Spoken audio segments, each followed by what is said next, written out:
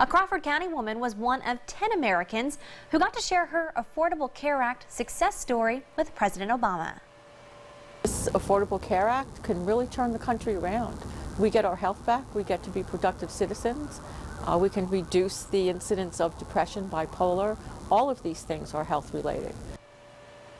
Naomi Davis says thanks to Obamacare, she can now get the medical assistance she needs to continue working on her Roberta farm.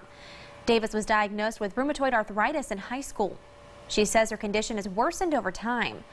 President Obama says his health care reform helps people like Davis get insurance coverage, even if they have pre-existing conditions.